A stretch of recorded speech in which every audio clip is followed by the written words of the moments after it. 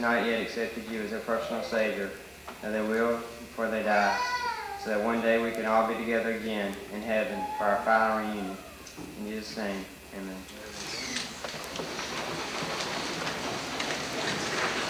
Please join us in the sad pledges first to the American flag.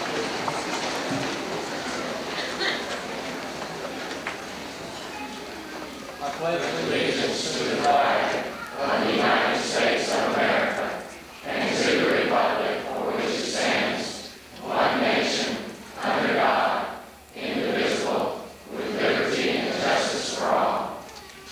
Christian flag. I pledge allegiance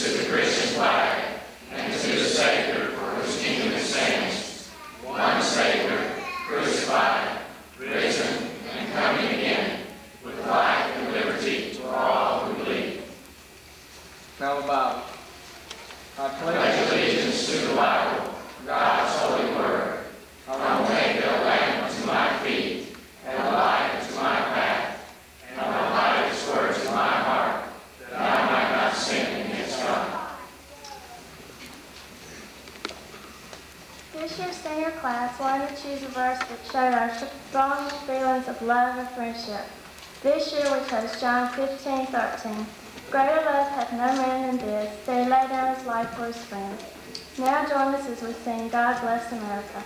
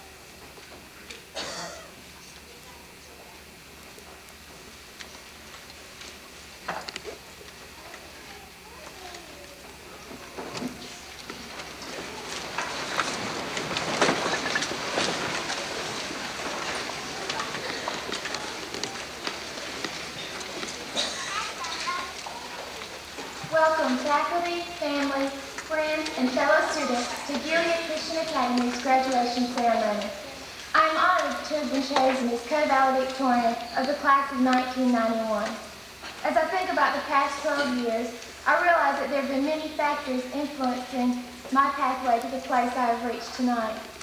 First of all, I want to thank God for his steadfast love and faithfulness to me. I am his, and his grace has always been overabundant to meet my every need. Secondly, there are some special people who have made a difference in my life, and I could not let this time pass without thanking them.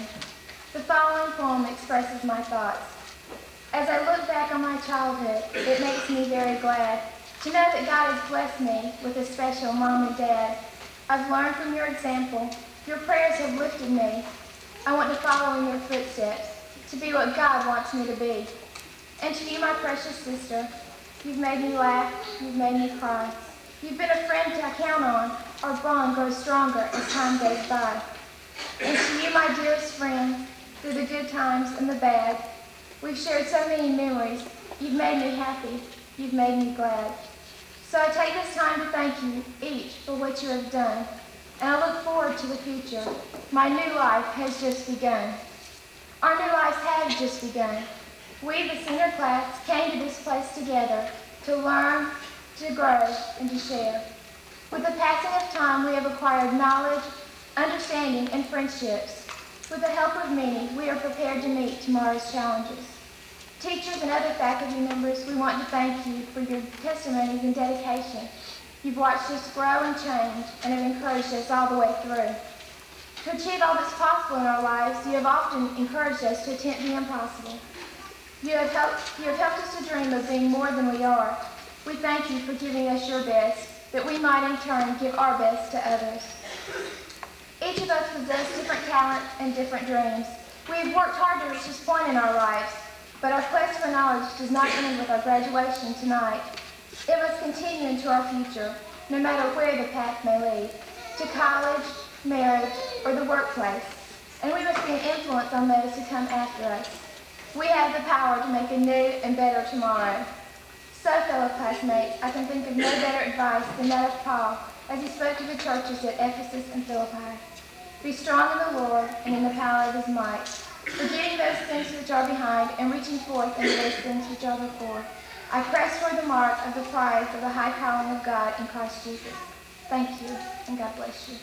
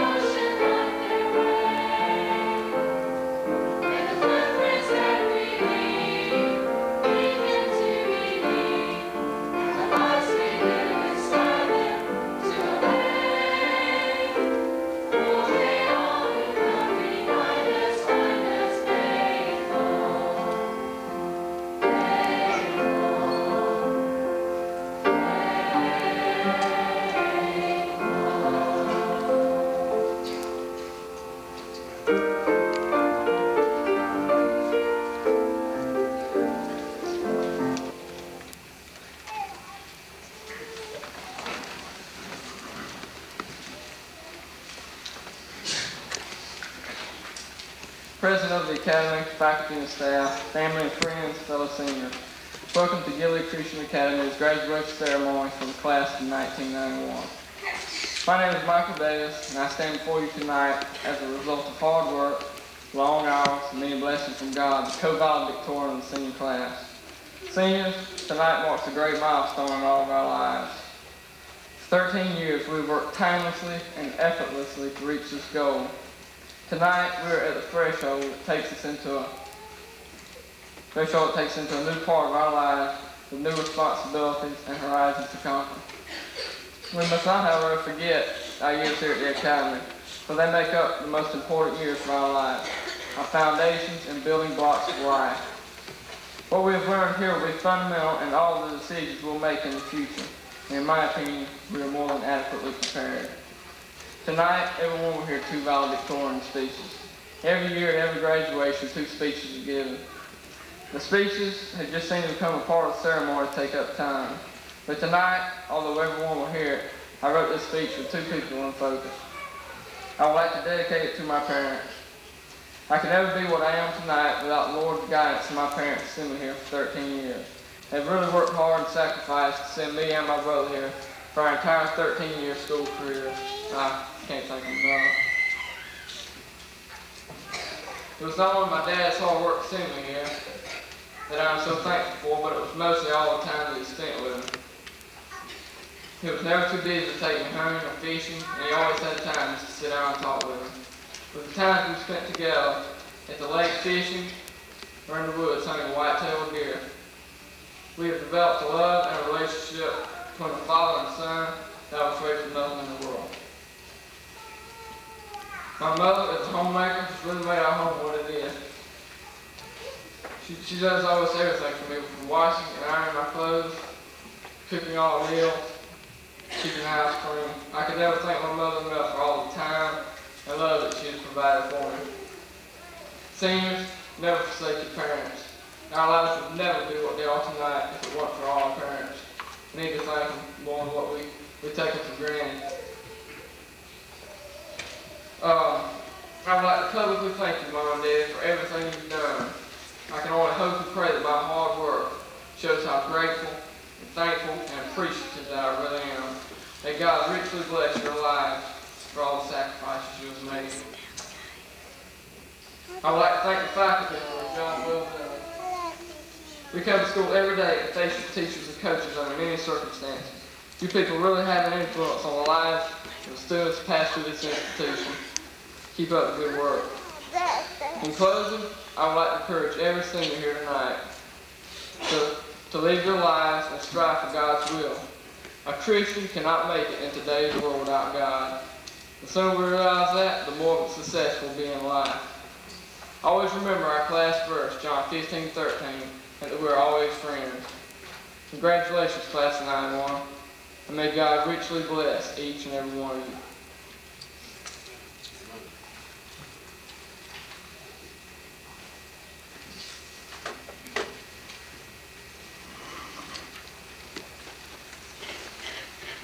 Appreciate that. Um, my name is Rachel Rigby, and I've been attending Gilead for 13 years. I was saved at the age of four years old and was um, baptized shortly thereafter. Um, I'd like to thank you, Mom and Dad, for all your, your sacrifice financially and with your time to make me what I am today. I'd like to thank you, um, faculty and staff, for um, pouring your knowledge into me. And I'd like to thank you, Class of 91. I love y'all, and I wish y'all the best in the world. Good evening. My name is Danny Ship, and I've been at Gilead for since ninth grade. I was saved at age nine during some services at Pine Park Baptist Church. I would like to take this time to thank my mom and dad.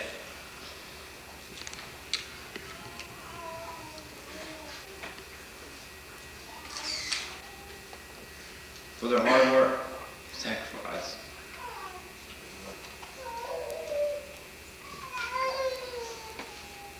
They didn't have to send me to a Christian school, they could have sent me to a public school. But they took the sacrifices and they worked hard to send me here. And now I have more than just education. I have Christian education. And that means more to me than ever know. I'd also like to take this time to thank my coaches, teachers, and Pastor Huffman for his hard, for their hard work, their diligence, and their godly leadership. I'd also like to take this time to thank the class of 91 for your good times, helping through the hard times, and always being there for me. May God bless each and every one of your lives. Thank you. My name is Rebecca Robertson. I'm attended Gilead for 13 years. At the age of 11, I accepted Christ as my personal Savior.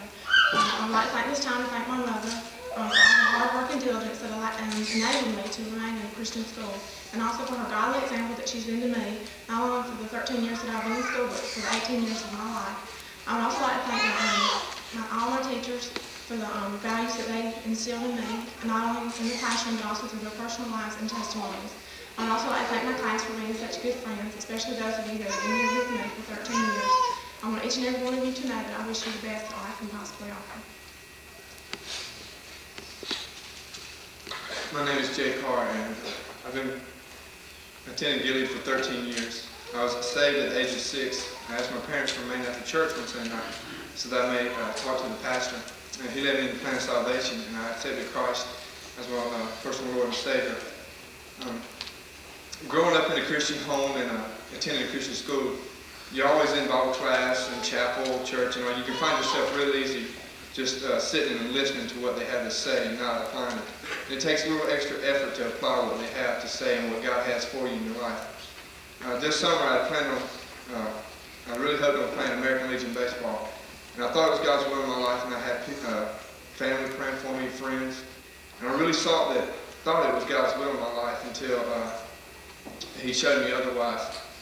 And I pray for the seniors that they'll keep God's will and always search for God's will in their lives. And that they'll look for His will, not their will instead. I want to thank my parents for the hard work and the love and sacrifice and just their effort to send me here and the times that they spent with me and showed me the love that a Christian parent should. And I want to thank the faculty for all their uh,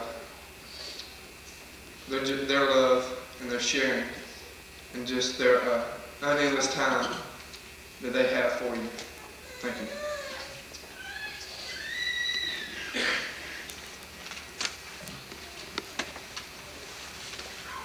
This time, I'd like to read something that I wrote during the course of this school year. And um, I don't exactly know when I wrote it, but um, I wanted you, my class, to know that when I wrote this, you, my Christian friends, were the ones I was thinking about. It's entitled God's Children are Friends Forever. I won't always know what you're going through, but you can rest assured I'll always pray for you. I know God's got us all in His hands. He's holding us together because He always understands.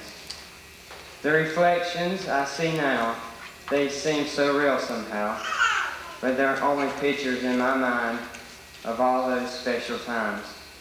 Our faces can never hide the friendship we feel inside. I've got to tell you, I love you, and I'm always going to miss you. All the things that we've been through, and now I have to say goodbye to you. After everything we've said and done, never thought the end to this would come. We've known each other for so long, now we've got to face this world alone.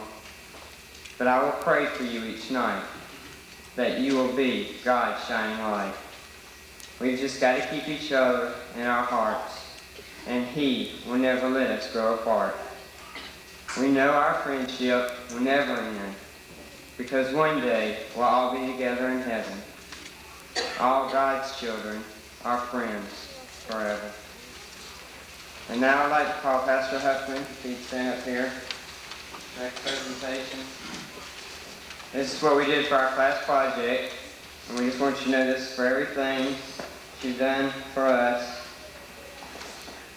Gilead has really changed all of our lives. This is a Christian winner's creed. It says, I believe that a true winner always does his best, never to the glory of self, but always to the glory of God.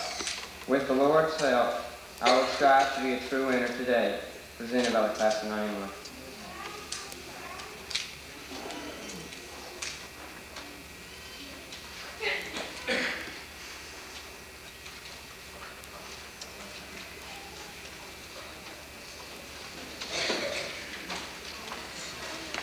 We have many awards to present tonight, and that's what we'd like to do this time, have all those displayed here.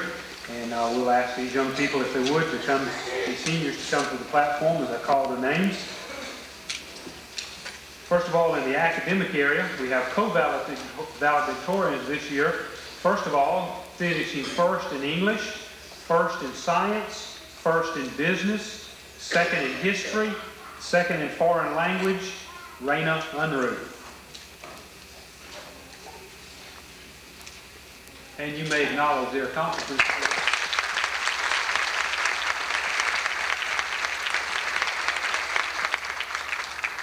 Finishing first in history, first in foreign language, second in English, second in math, second in science, Michael Davis.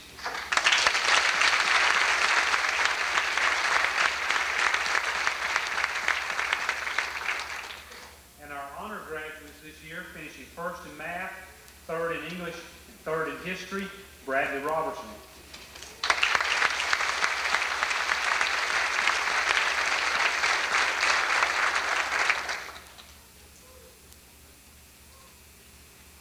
Second in business, third in math, third in science, Eric Rye.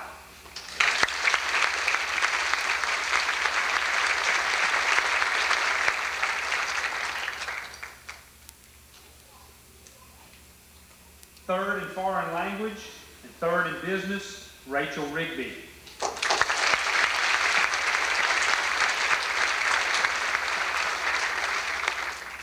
Our final honor, honor graduate tonight is Dawn Vaudry.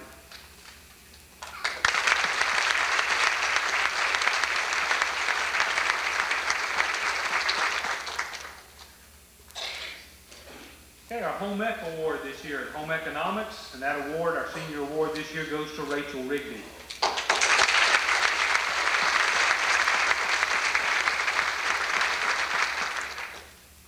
In the area of music, the Music Award, Tanya Stroud.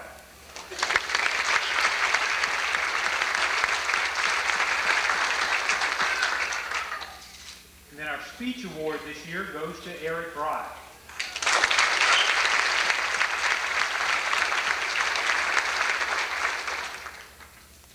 We're happy tonight is uh, Shirley Anderson from the Woodmen of the World Life Insurance Society. And uh, she's here to present an award, and they give us this award every year. And uh, we'll ask her if she would come and present that at this time.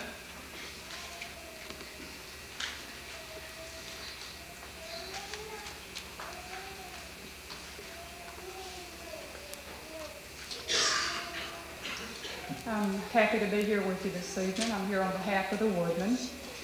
Uh, we have numerous community service projects, and our American History Award is one of them. All of you seniors tonight are winners. There are no losers in this room. Could I have Michael Davis please come up?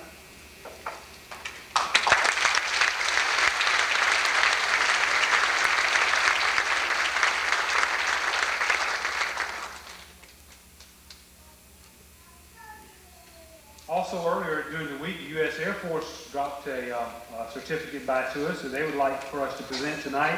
This is for academic achievement in the area of math and science, and uh, this certificate also goes to Michael Davis.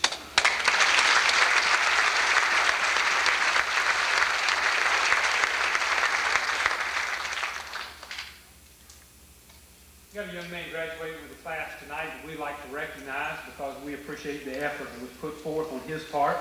Uh, Michael Gardner is graduating with the class tonight. I don't know how many of you know this, but Michael was with this class a couple years, and uh, over the summer, uh, this past summer, uh, it was necessary for Michael to have some extensive surgery, and he was not able to continue with his class.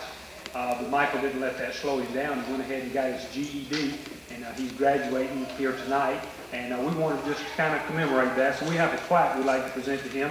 It says, Michael Gardner, Gilead Christian Academy congratulates you on the completion of your general education diploma, May 31st, 1991. Michael?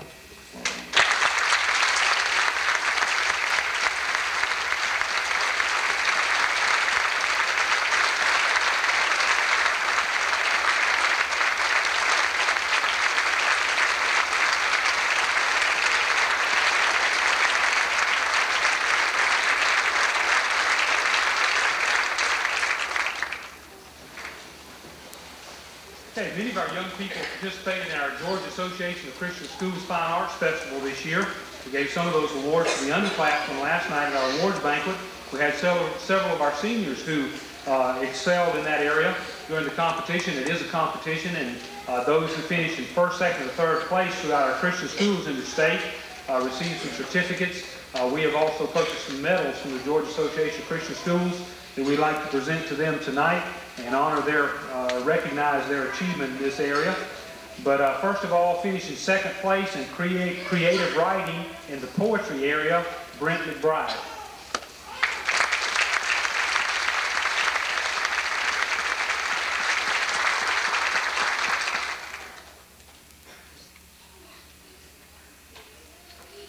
Then we had three young ladies, or excuse me, two young ladies and a young man who were part of a choral group uh, that finished in second place in the state. Uh, Dawn Baudry, Shelley Hawkins, and Paul McFarland. Okay.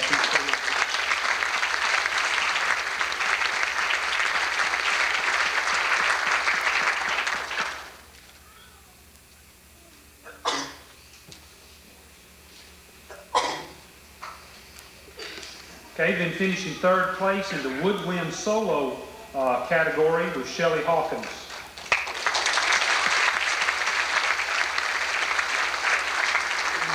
And while here, she also finished third place in poetry reading.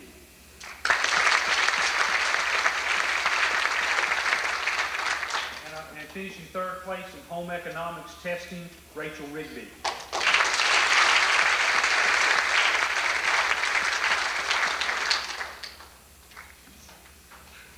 Okay, just before we pre- present our Christian Character Awards, we'll do that in just a moment. I'm going to ask uh, uh, Dr. Greg Huffman, if you would, President of Gilead Christian Academy, to come and present our President's Award tonight.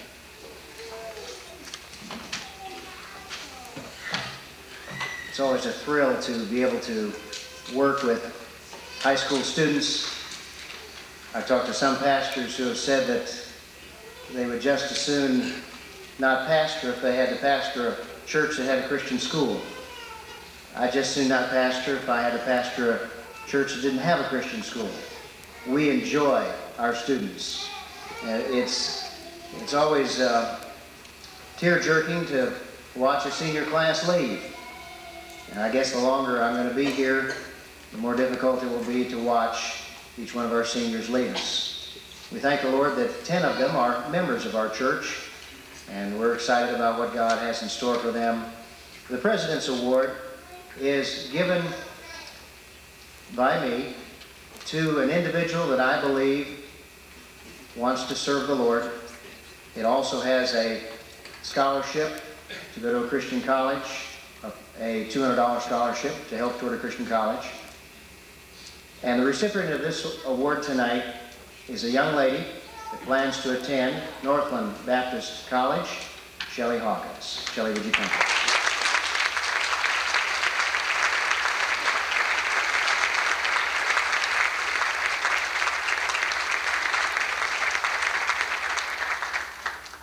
Okay, the final awards we'll present tonight, we have five of these, are Christian Character Awards.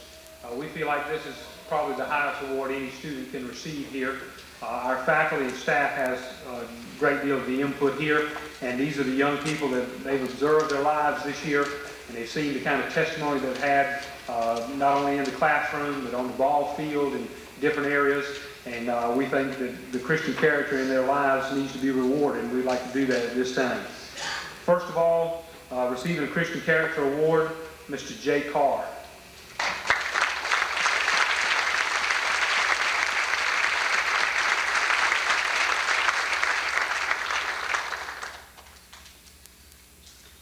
Also, Michael Davis.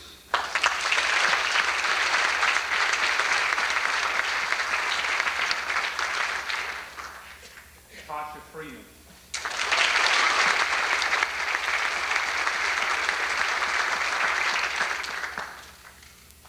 Danny Ship.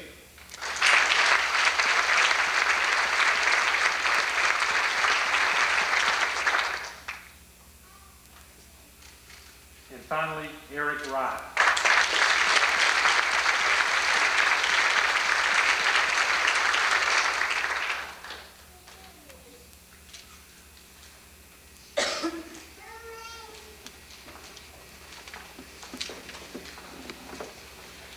It's our privilege to be able to have Dr. Charles Davis with us as our commencement speaker. Dr. Davis is the president of Trinity Baptist College in Jacksonville, Florida, founded by Dr. Bob Gray. Numbers of our students from Gilead Christian Academy have gone to Trinity, and more will go in the future. And we're just thrilled to be able to have him come and speak to our hearts from the Word of God. Dr. Davis. Thank you, Pastor. It's a joy to be here tonight. Thank God for the invitation. Appreciate the excitement of a commencement exercise. It's always uh, enjoyable to stand, sit on the uh, platform, detect what's going on in the lives of these young people. You can see them as I see them. They are torn with all sorts of emotions. I know they're excited about graduating. They're sorry that this era of their life has come to an end, I believe. And uh, obviously, through the poetry and other things that have been said, demonstrates a great camaraderie between these young people. It's a joy to be here. So I address you young people tonight. So, Mr. President, Vice President, Principal, faculty, staff, graduates, amazed moms and dads, and proud pawpaws and grandmas. Tonight I invite you, if you have your Bible, to turn to Luke chapter 2. We'll be using one verse in this passage. You would think that we would have a lot of verses in the Bible to describe the adolescent years of our Savior. The fact of the matter is, we only have one verse in the Bible that describes his life. That verse reads, And Jesus increased in wisdom and stature and in favor with God and man. That one verse says it all. He is our example. He's the super exemplary individual of our lives.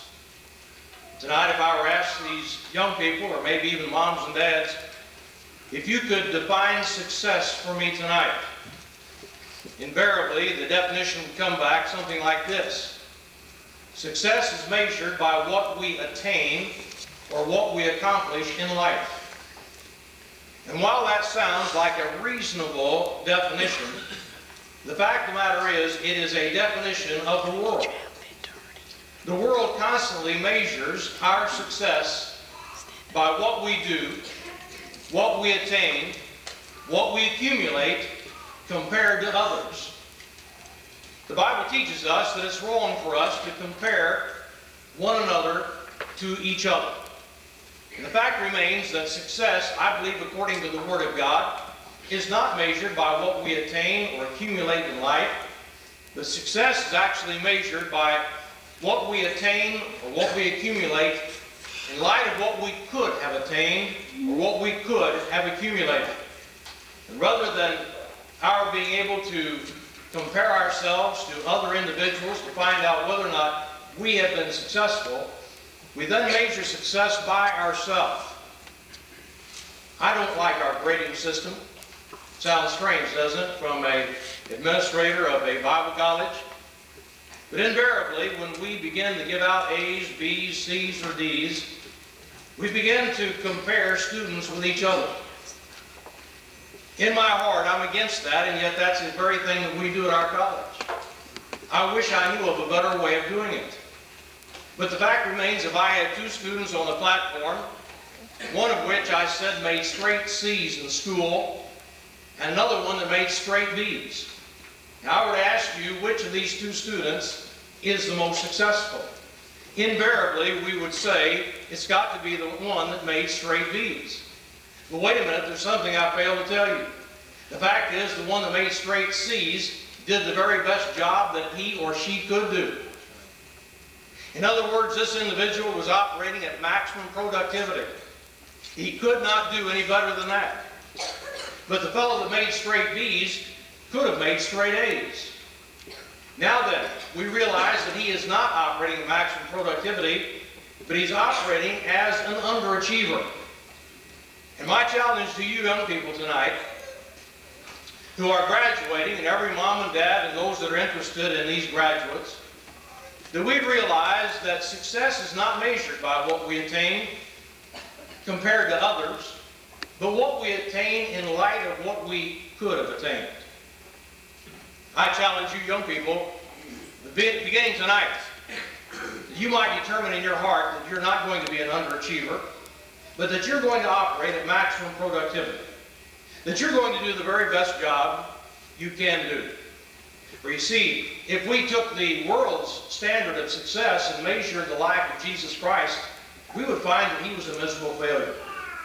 For instance, today, many people determine success by how much we own.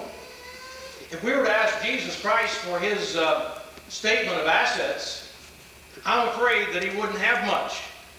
In fact, I don't know that he owned anything. According to the world, he would have been a miserable failure. If we were to measure success by how much money that an individual had, again, we'd ask Jesus to produce his balance sheet, show us his uh, profit and loss statement, and we'd find that he didn't have much money at all. In fact, when it got time for him to pay his taxes, he sent his disciples down to the lake to pick out a certain fish that had a coin in his mouth. I like that. I wish we could do that. Wouldn't that be something? Again, Jesus would be a miserable failure. If we measure success by one's uh, wardrobe, I wonder if Jesus Christ was one of the ten top dressers of Israel. I doubt that. In fact, I assume that he wore very simple clothing. Again, according to the world standard of success, I believe that Jesus Christ would have been a miserable failure. We measure success by the vehicle that we drive. Again, we look at what Jesus had. He didn't have anything.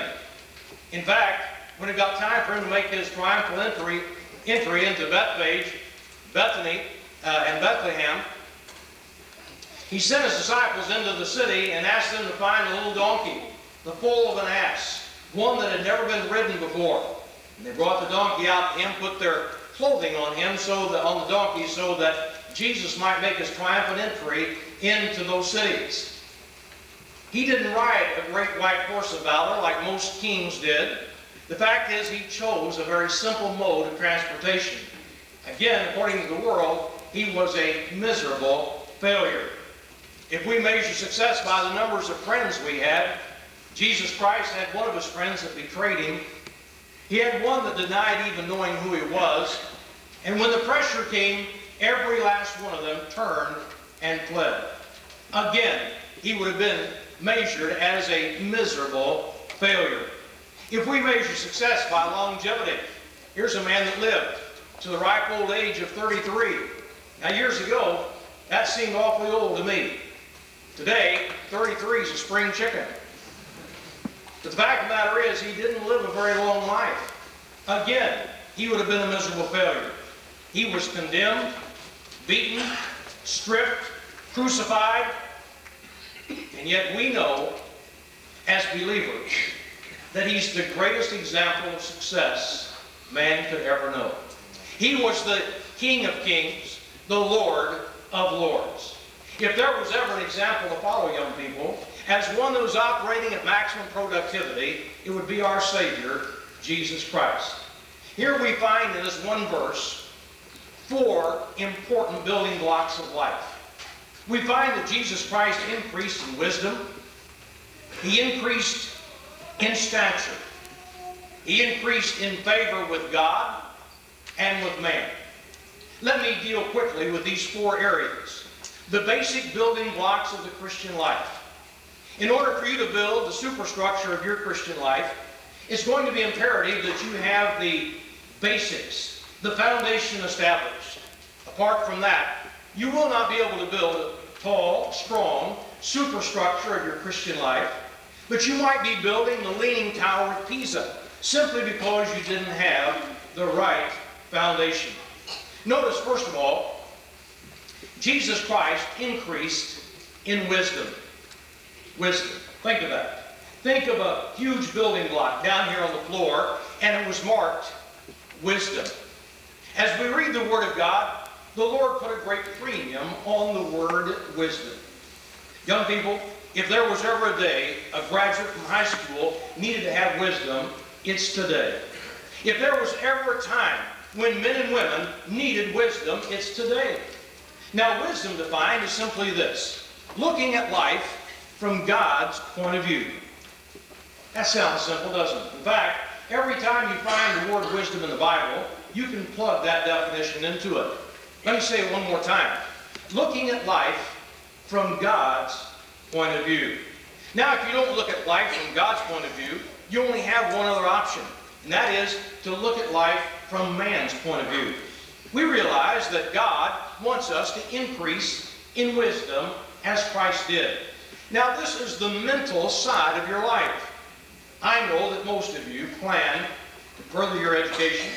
I hope you have decided that this is the end of the mental prowess of your life. Hopefully you have decided to put your mind in neutral and now coast the rest of your life. Hopefully you have a desire to expand the horizons of knowledge that God is able to give you from many different areas. We have heard in times past that a mind is a terrible thing to waste, and certainly that is true. I think it's important that you determine that you're going to allow your mind to gather and soak up knowledge and truth of the Word of God so that you might be able to be used by God in a great way.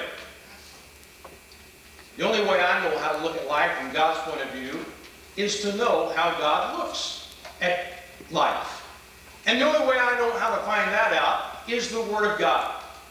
After hearing the testimonies tonight and hearing what you uh, uh, valedictorians have had to say, and the poetry that's been read, obviously there is a deep sense of spirituality among these young people. And my hat is off to you for that. And I thank God for that. But I trust that this is just the beginning. That you'll determine in your heart that you'll never set the Word of God aside. That you'll determine to allow the Word of God to speak to your heart on a daily basis. So that you might be able to expand your horizons in the area of wisdom so that you might be able to look at life from God's point of view. You don't have to be Socrates. You don't have to be Aristotle to be a philosopher. There are many people today that are philosophizing every day. They simply begin a sentence like this. Well, I think, or I believe. But you know, young people, it doesn't matter what you think or what I think. The important thing is, what does God think? That is the most important thing.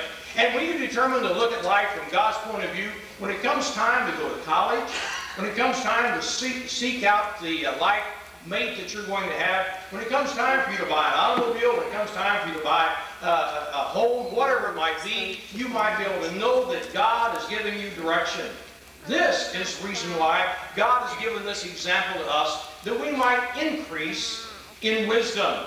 It's important now that you determine to read good books. It's important now that you determine in your heart that you're going to learn as much as you possibly can and operate at maximum productivity. Second building block of the Christian life, God said that Jesus Christ increased in stature. Now this is the physical side of life.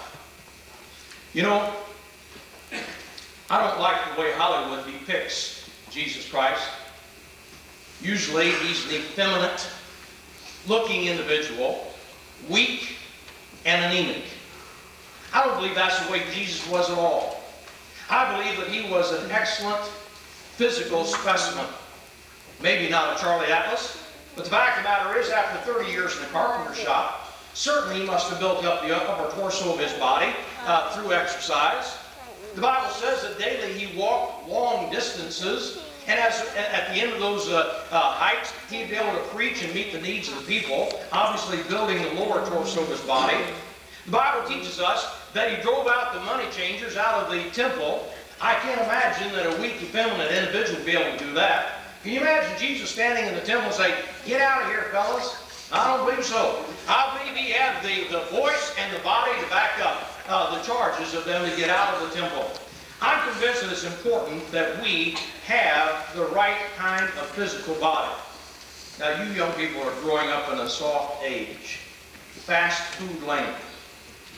Uh, we oftentimes don't take care of our bodies like we should. Oh, we preach against smoking, and I hope you don't smoke, ever. We preach against drinking, and certainly you ought not to do that.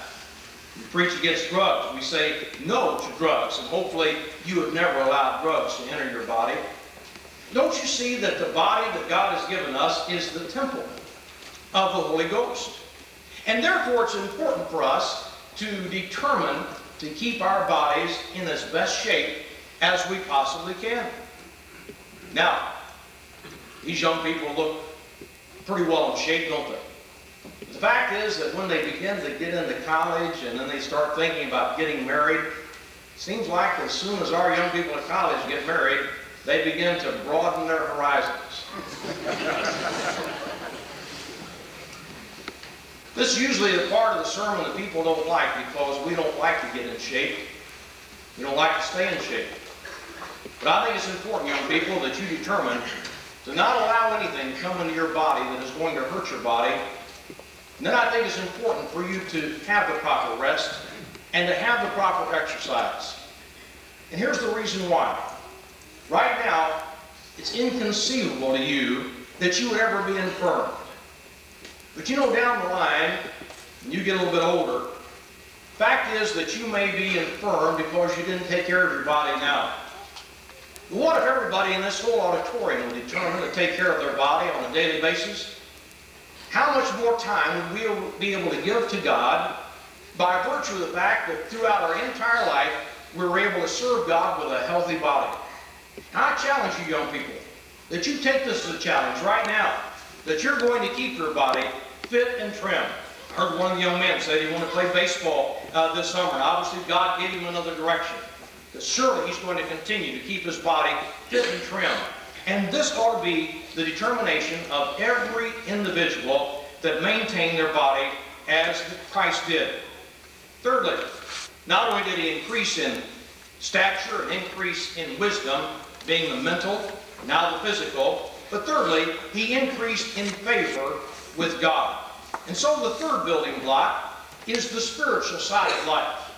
We have the mental, the physical, and now the spiritual side of life. You see, Christ had a mission. He had a responsibility. As God sent him to this earth, he had a responsibility to accomplish, and he did precisely what he was asked to do. Young people, that's exactly what spirituality is. It's not my responsibility to determine what God's will is for your life. You have to determine that yourself according to the dictates of the Word of God. I've often thought I could make a lot of money if I opened up an office someplace and put a big sign out front saying, I can determine God's will for your life, $25 a piece. Or maybe 50 There's enough gullible Christians in the world today that would probably stand too deep for two blocks just to find someone else telling them what God's will is for their life. But that's absurd, isn't it? Because I can't determine God's will for your life. I have enough trouble determining God's will for my own life, let alone yours. But you know, we're so concerned about God's will for our life, what it might be a year from now, or five years from now, maybe 10 or 15 years from now. But that's not what God is interested in. He's interested in us knowing God's will every day. And if we would determine to do the will of God in increments of 24 hours each, we would find that a year from now will take care of itself. In other words, in the next 24 hours, it's my responsibility to determine what God wants me to do. And as I accomplish that successfully, then I'm able to start working on the next 24 hours. You know, next week, next year will take care of itself. If we stay in the will of God every day, 5, 10, 15 years down the line, we'll still be doing what God wants us to do. So we realize that it's not an easy task. It is an awesome task and responsibility to determine the mind of God for our life. But that's your job. How easy it's been for you to look to the faculty, to look to the administration, to look to mom and dad. Now, it's going to be your responsibility. One fellow said tonight, tomorrow we'll be adults. Isn't that something? I mean, isn't it amazing what one night can do? My youngest son graduated from high school last Friday night. That's the end of an era for us. So I told him, son, you're now a man. You're an adult. I expect you to act like one. You know, I thank God for the commencement time. I always thought when I was growing up that commencement meant it was the end of something. But the word commence means to begin something. And that's exactly what's taking place tonight. You are now being weaned away from these who you have found your security. And now you're going to become independent, little by little. Not only do you become independent of mom and dad, and become independent of the faculty and staff that are here, but you have a responsibility to grow and know precisely what God wants you to do. No longer are you going to be able to look to these folks to meet that need. This is a time of maturation in your life that you'll determine to know the mind of God for your life every day. Finally, the fourth building block of this spiritual life that we're talking about, this exemplary life of our Savior, not only was there a fact that he had to grow mentally, physically, then of course spiritually, but finally said he increased in favor with man. Now we get to the social side of life. Social side. What in the world would that be?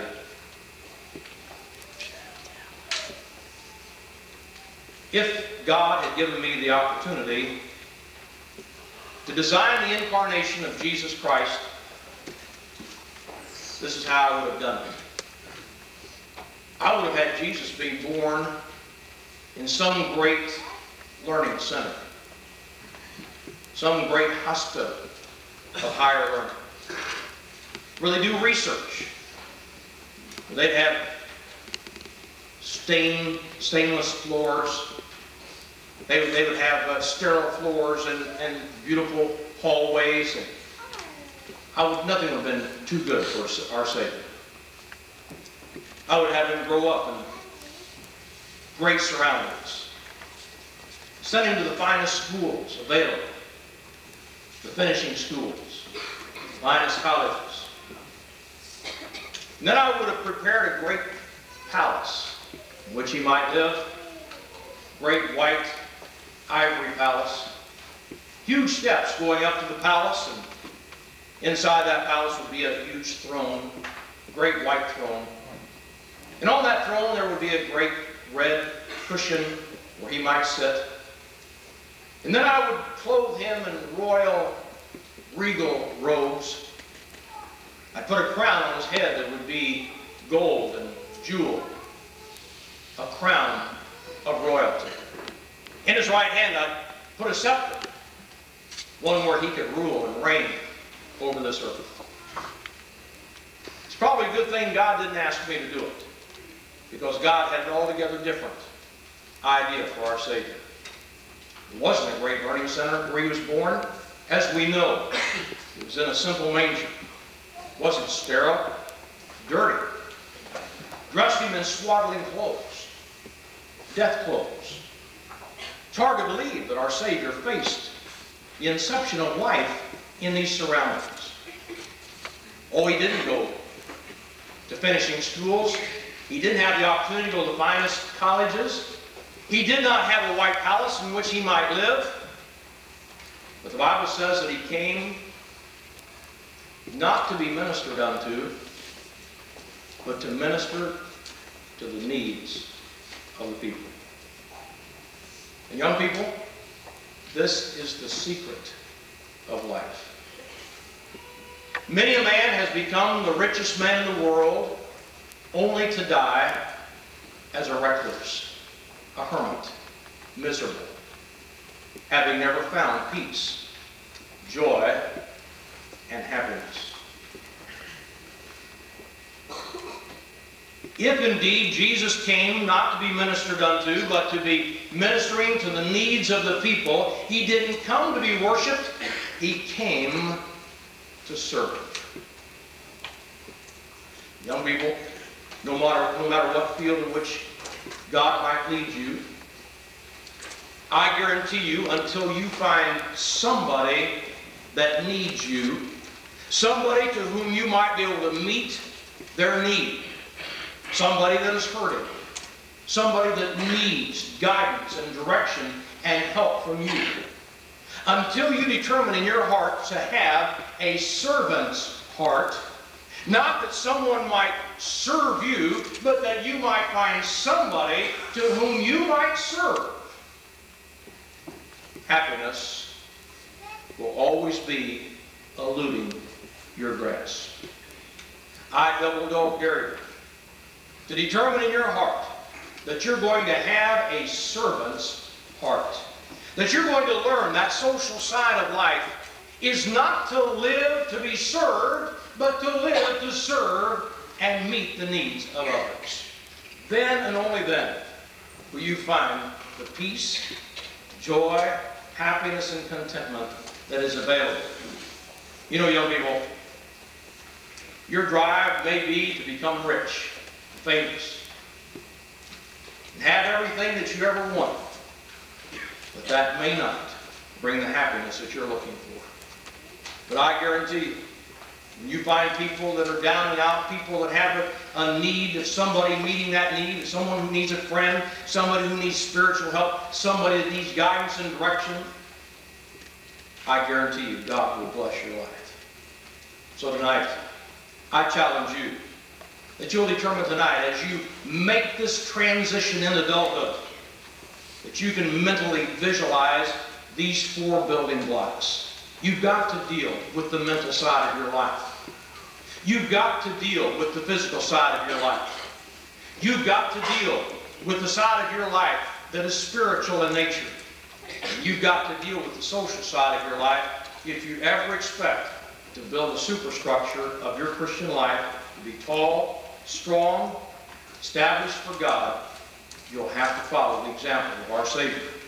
But you might be successful, operating at maximum productivity, doing what God wants you to do. God bless you.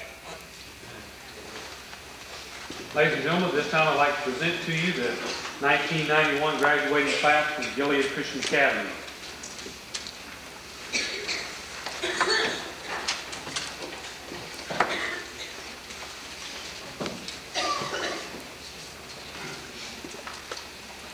As we call out the names of each one of these students, we would like for the parents to please stand. As a surprise to you, they have purchased a dozen roses for their mothers. And we have four young ladies who would like to present these to you individually. And so as your child's name is called, would you please stand for your roses? Thank you.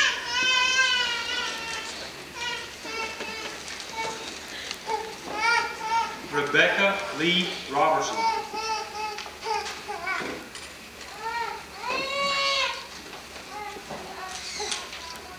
Tanya Zane Stroud.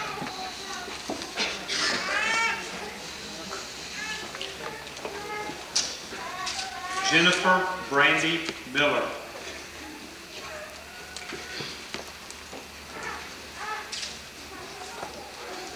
Dawn Kelly Bodry.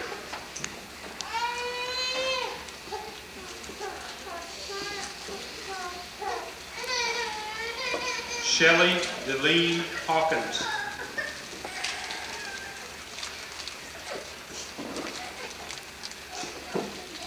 Stacy Elaine Harrell.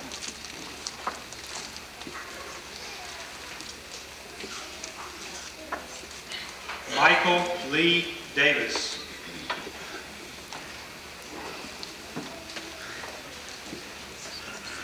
Matthew Harold Geary.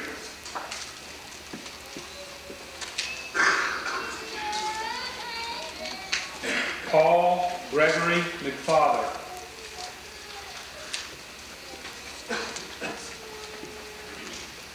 Eric Tracy Davis.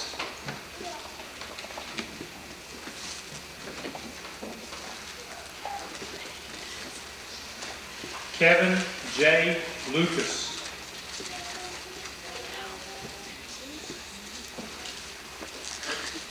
Jimmy Paul Carr Jr.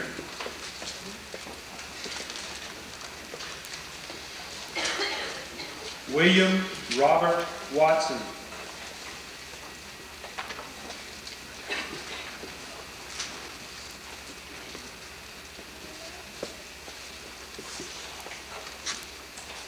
Kimberly Nicole Thompson.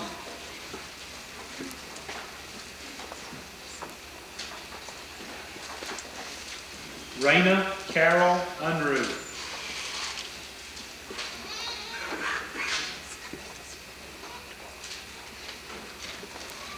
Mary Esther Staley.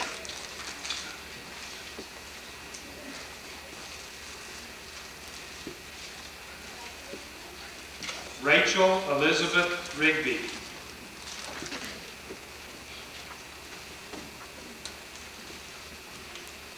Laura Natasha Freeman.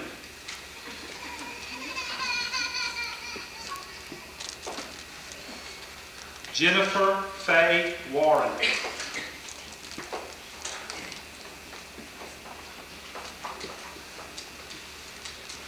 Eric Glenn Rye.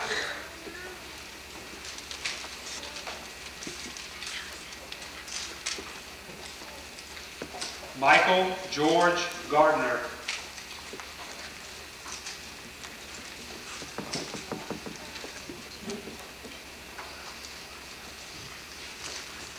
Daniel Franklin Ship.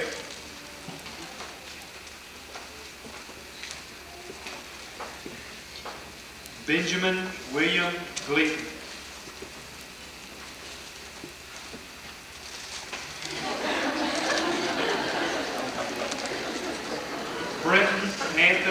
McBride.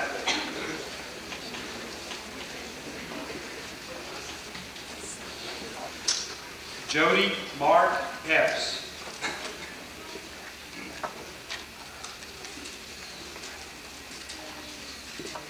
Bradley Clinton Robertson.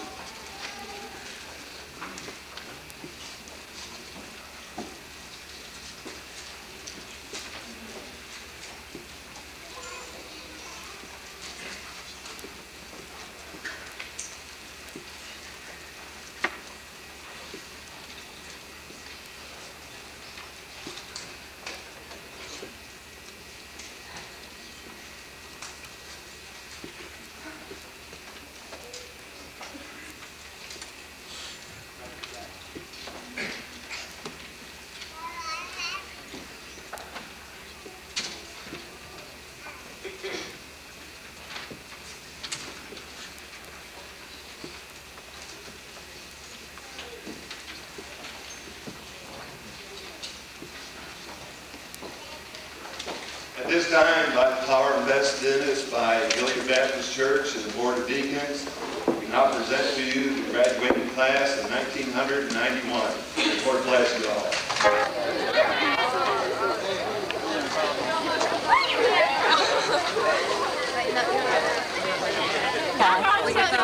Well, it's got that index stuff on there. My thumb?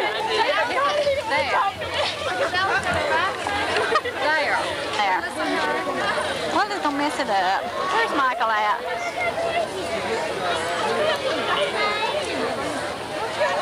Here it is. Appreciate y'all coming. Thank you, ma'am. Best of Really? I seen you deer out there lately. There's, there's corn out there tomorrow. Okay.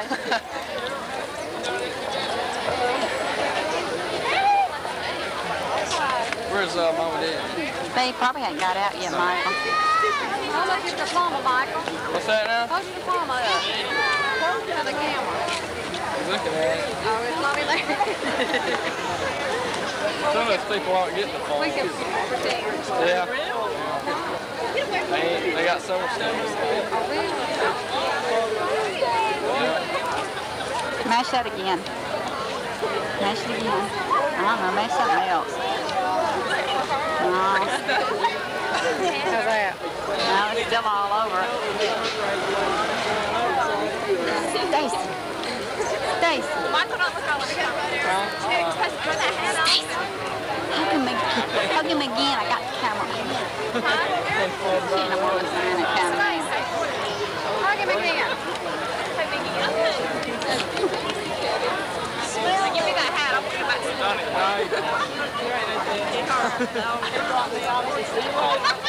Well, I'm gone. We're going to the reception. All right, bye.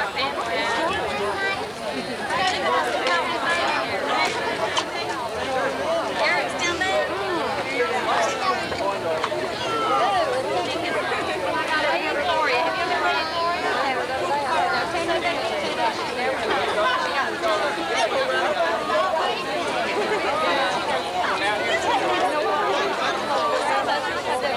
Don't make fun of me. You should have stayed. At least you wasn't hollering like that. You didn't behind me. I was She didn't speak out, not once, she did That one. child behind me did good not to get him him booked. Her mom didn't make me Dick. I got some Chad. Hi, Shan. What's going on, man?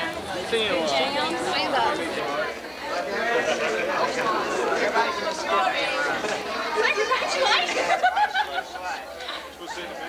I